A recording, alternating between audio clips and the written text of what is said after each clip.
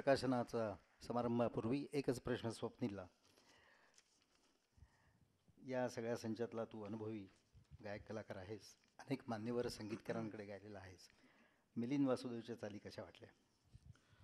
नमस्कार सगळ्यांना. मी सगळ्यांबद्दल बोलणार आहे. पहिलं अतुलजींबद्दल बोलतो.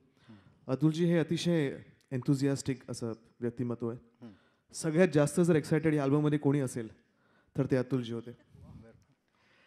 कारण तुम्ही त्यांना जर पाहाल तर ते इतके बबली कॅरेक्टरचे आहेत आणि ते always there he is always. त्यांचं त्यांचा जो एन्थुझियाझम आहे तो तो कमालीचा आहे. गाणी खूप सुंदर होती.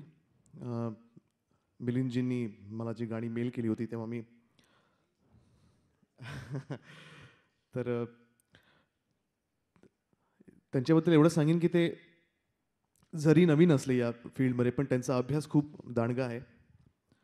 गाणी खूप सुंदर आहेत शब्द खूप सुंदर आहेत आणि त्याला जो साज चढवला आहे स्वरांचा तो मिथिलेश पाटणकर यांनी. मिथिलेशबद्दल मी काय बोलू? म्हणजे मी त्याची कम त्याचं कंपॅरिझन अरविंद हळदीपूर किंवा अनिल मोल्यांबरोबर करतो. इतका सुंदर इतका टॅलेंटेड तो अरेंजर आहे. तो गायकसुद्धा आहे तो संगीतकारसुद्धा आहे. तो असा मल्टी टॅलेंटेड माणूस आहे. तितकाच त्याचा ह्युमर खूप पण खूप स- छान आहे. त्यामुळे त्याच्याबरोबर काम करताना खूप मजा येते.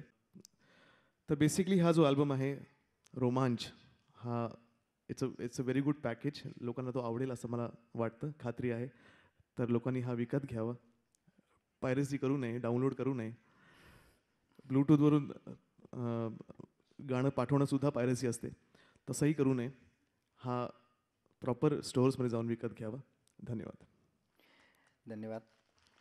आणि ज्या अल्बमविषयी एवढ्यात आपल्याला स्वतः स्वप्नीलनी सांगितले